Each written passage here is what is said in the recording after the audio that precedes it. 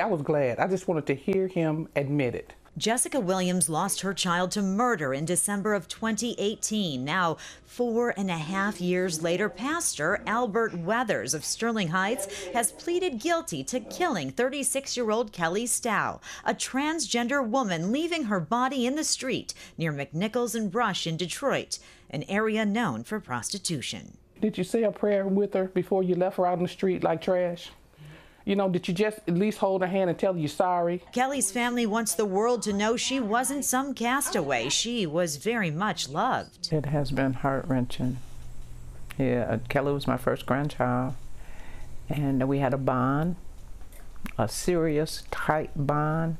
I don't want her to be what society may have a picture of of trans women of color. You know, they're not throwaways. They're not people who people have forgotten you know, they, they all have a backstory, and I think that's something that needs to be realized. She was cared for. She she was loved. Born Tristan Stough, he was raised in the church, grew to be six foot four, got a scholarship and played college football, but left after a couple of years instead, wanting a career in fashion. I personally told her to be the best version of herself that she could be, own it, um, just live your life and be happy. In school in Chicago, Tristan studied fashion and found a community of authenticity and eventually told her family she was transgender. People called her Kelly. I was glad for her. I was proud of her to, to own who she was and to be her true self. Why the pastor shot Kelly Stough in the early morning hours of December 7th, 2018, we may never know. But Kelly's family hopes Pastor Albert Weathers tries to make things right.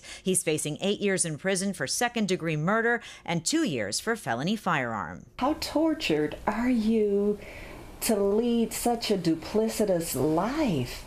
And to the point that you were willing to cover up what you did mm. by taking this life. Mm.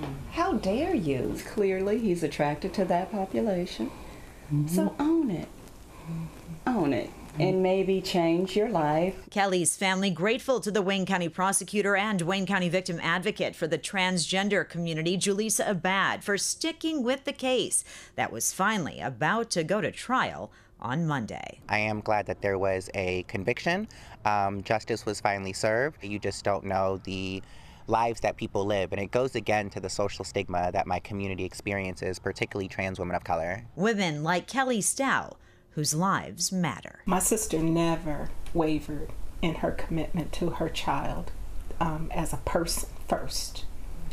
And that's what I would encourage families to do. Look beyond the social stigmas. Stick by your kid, you know, stand with them.